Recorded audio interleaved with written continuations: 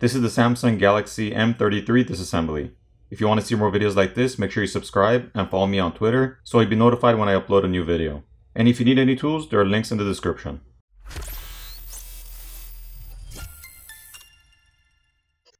First, the SIM tray needs to be removed. Next, we need to apply heat to the back plate using a hair dryer or a heat gun to loosen up the adhesive underneath. And then we're going to use a plastic pry tool to pry the back plate off. Here's a better look at the plastic back plate. The adhesive tape in between the camera lens needs to be peeled off, revealing a Phillips screw underneath. Next, the plastic cover which is covering the connector for the fingerprint reader needs to be removed.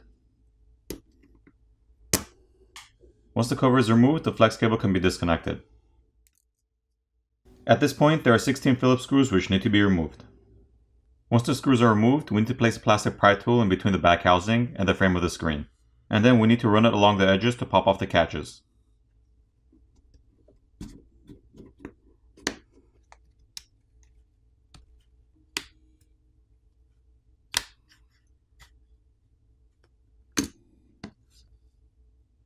The back housing is also made of plastic. The glass camera lens covers can be replaced by applying heat and gently prying them off.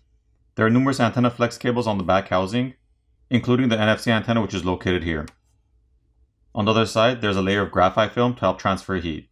There's a metal bracket which is holding the fingerprint sensor to the back housing, and the loudspeaker is located on the bottom. Once we have access to the battery cable, we need to disconnect that first. Once the battery cable is disconnected, we can proceed to disconnect the rest of the cables. If you needed to replace the screen, you'd have to remove the back plate and remove the screws in the back housing. At that point, you disconnect this flex cable from the main board and the subboard, and this flex cable connects the screen and subboard to the main board. Then you would heat up the front of the phone where the screen is to loosen up the adhesive underneath. You pry your old screen off, apply new adhesive, reapply your new screen making sure you run the flex cables back through the openings in the mid frame, and reassemble your phone. There are two coaxial cables on the main board and subboard that need to be disconnected by popping them off.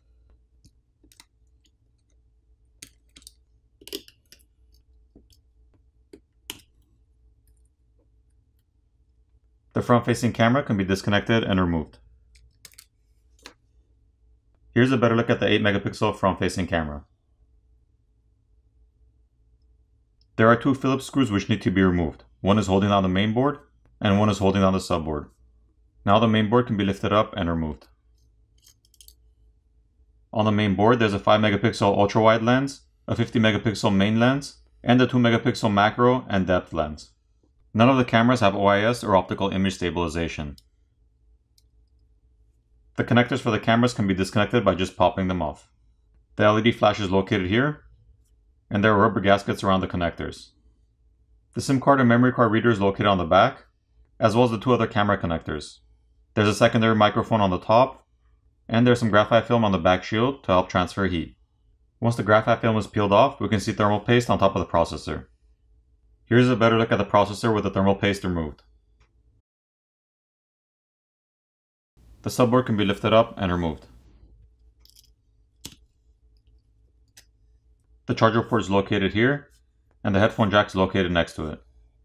The primary microphone is located on the other side in between the charger port and headphone jack.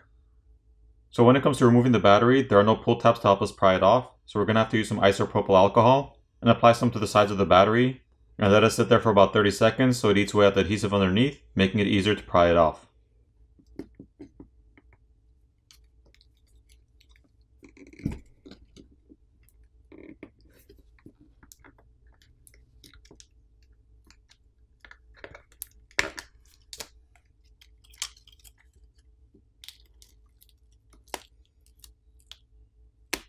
Here's a better look at the 6000 mAh battery. Once the battery is removed and the film is peeled off, we have a better look at the copper heat pipe which runs underneath the battery as well as the motherboard. The vibrator motor is located on the bottom corner and it's held on with some adhesive. The flex cable for the volume keys is located here and it's held on with some adhesive as well. And the earpiece speaker is located on top and that's also held on with some adhesive. So if you need to replace either of those, you'd have to just gently pry them off and there's a small thermal pad which sits in between the motherboard and the midframe, as well as two liquid damage indicators, which are these white stickers located on the mid frame. For the repairability score, I give this phone a 5.5 out of 10. Now it's time to put the phone back together.